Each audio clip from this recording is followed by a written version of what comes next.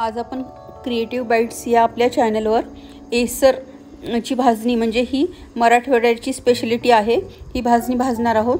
ही भाजणी व्यवस्थित सगळं धान्य एकत्र ताटामध्ये मांडून व्यवस्थित भाजून घ्यायचं आणि क- मिक्सरला काढायचं. पूर्वीच्या काळामध्ये आजी पणजी आपल्या ज्या प- पारंपरिक ह्या भाजण्या आहेत ह्या जात्यावर दळायच्या. आणि जेव्हा घरामध्ये शेंगदाण्याचं कूट किंवा खोबरं नसायचं तेव्हा ह्या भाजणीपासून आपण भाजीला लावण्यासाठी पीठ वापरलं जायचं. ज्यांना डाळीच्या पिठाची ॲलर्जी असते त्यांनी असल्या पद्ध अशा प पद्धतीच्या भाजणी तयार करून ठेवाव्यात. आणि ह्या भाजणीपासून आपण वेगवेगळे थालीपीठ किंवा पिठलंसुद्धा तयार करू शकतो. ह्याच्यामध्ये आपण भाज्या मिक्स करू शकतो. ह्याची आपण वडे पण बनवू शकतो. ह्या मल्टीपर्पज भाजणी आहे ही. एकदा नक्की करून बघा.